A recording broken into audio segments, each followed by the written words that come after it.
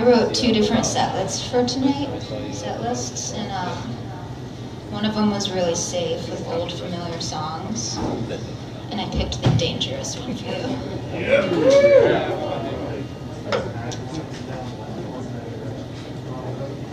Yeah.